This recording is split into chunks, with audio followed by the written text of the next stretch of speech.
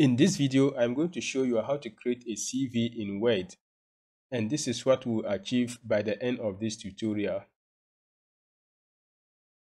So, if you like what you have seen and want to create your own CV, keep watching.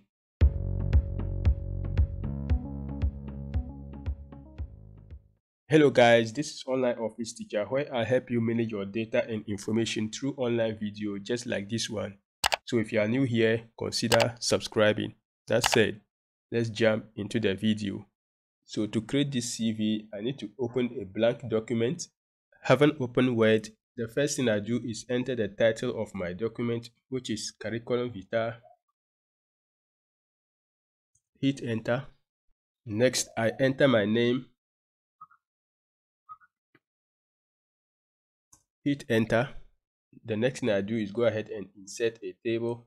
So I go over to insert, click on table, and I need a table of two columns, four rows. This is where I enter my personal information. So the first one is date of birth.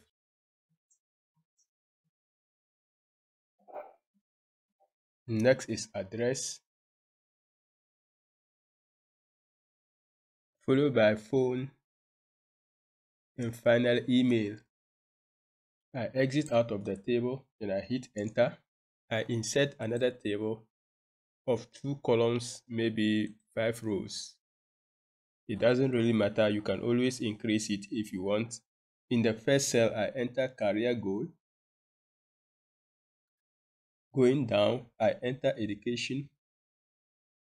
Next, I enter professional experience. Next is accomplishments.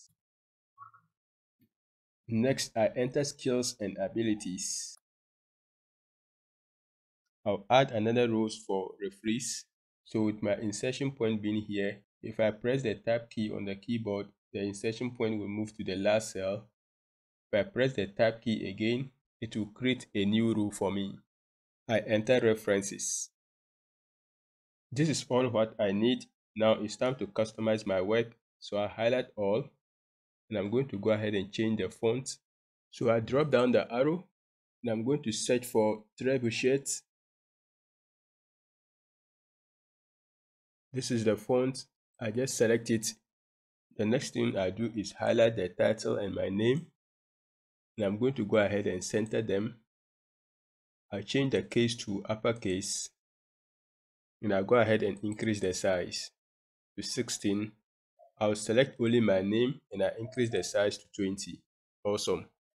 Next, I'm going to go ahead and decrease the column right here to this much.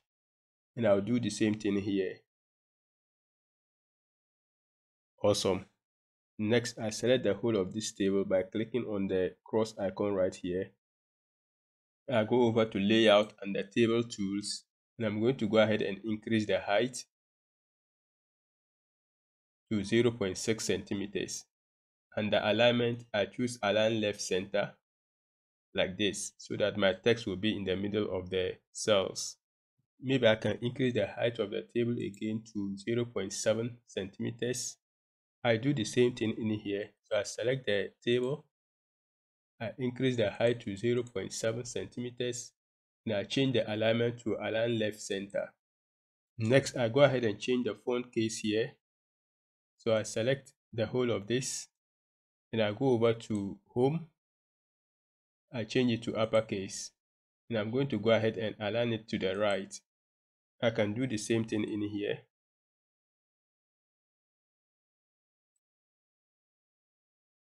Perfect. If you are finding value so far, please give this video a thumbs up. It does help me out so that the video will be suggested to more people on YouTube and also benefit more people. All right, let's continue. Next, I go ahead and fill up the cells in here.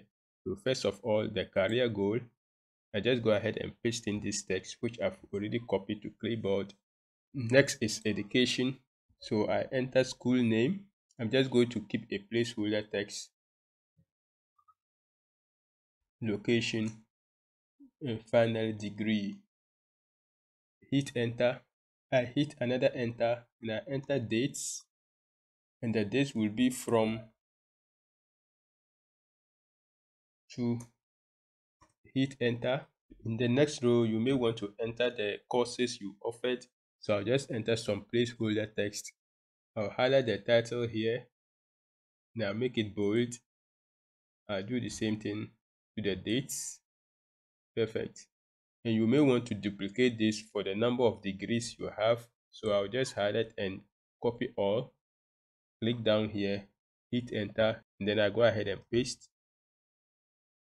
once more. Perfect. Maybe the headings here, I want to change the alignment. So I select the entire column like this. Then I'll take it to align top right.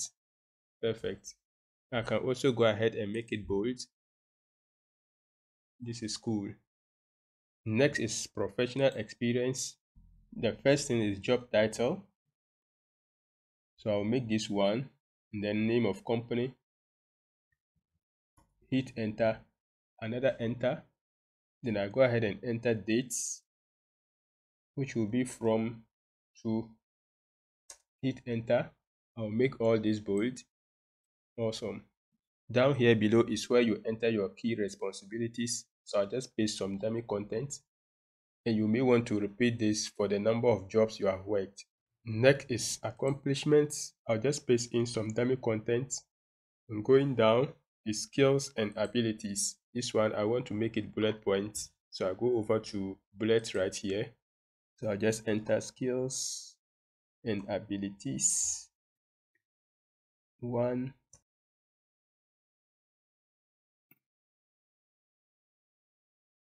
Perfect. And finally, references.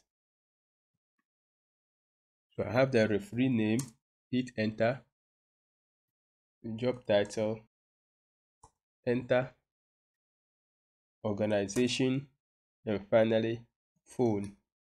I'll repeat this for the number of references I want to add. Maybe two will do. Next thing I want to do is create spaces under each one of them. Like here, I want a space down here so that there'll be some kind of separation between the top row and the next one. I already have some space here. There's a space here space here. I'll create one from here. Perfect. Next thing i'm going to do is go ahead and remove the lines on my table. That is this second table. So i select all. Then i go over to table design and the table tools under borders i choose no border so with this the lines are off you are only seeing these green lines just as a guide you are not really going to see any lines when you print out the document. If you don't want to see the green lines, you can go over to borders again. Then you make sure you click on view grid lines. So if I click on it, you see that the grid lines are off. But I'll bring it back just to serve as a guide. However, I need some lines on top of every single heading. Like here, I'll add a line here and I'll do the same thing for the rest of them. So I can just select the whole of this row like this then I go over to borders and I choose top border. It's still selected.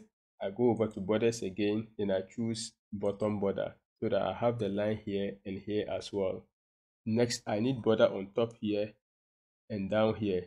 So instead of highlighting this, I'll rather highlight this. Then I go over to borders, bottom border, then top border. Similarly, I do the same thing here. Top border, and bottom border. If you want, you can also go ahead and take off the lines on the personal information. Let me bold this one up here to make everything consistent. Perfect. I'll make the name too bold so that it will stand out. Now the design of my CV is done. So with this, you can go ahead and use it as your professional CV. We can preview it to see how it looks Perfect. I like it. This looks neat and clean. I exit from here. So that's it on how to create a CV in Word. I hope this video was helpful. If you found value, kindly hit the like button, subscribe and also enable the notification bell so that each time I post a new video on this channel, you will be the first to know. Keep watching and I'll see you in the next one.